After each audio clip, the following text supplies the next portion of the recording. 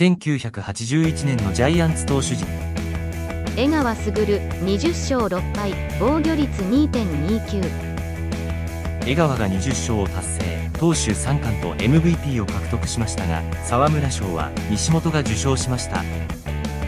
西本隆18勝12敗防御率2.58貞岡商事11勝7敗防御率3.70加藤はじめ12勝6敗2セーブ防御率2.91角光雄8勝5敗20セーブ。三浦久夫0勝5敗。浅野圭司1勝2敗。香取義孝1勝。この年のジャイアンツは73勝48敗9分けでリーグ優勝。日本シリーズも日本ハムを4勝2敗で下し優勝しました。